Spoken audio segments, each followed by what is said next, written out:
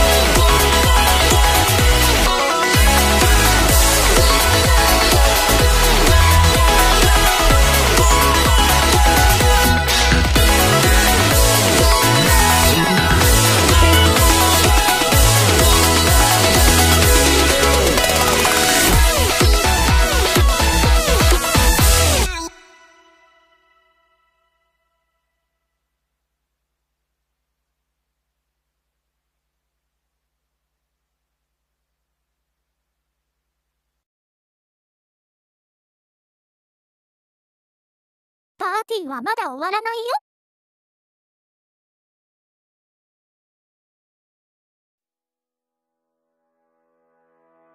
夢を見て生きていこうよワンワン波乱が万歳しちゃう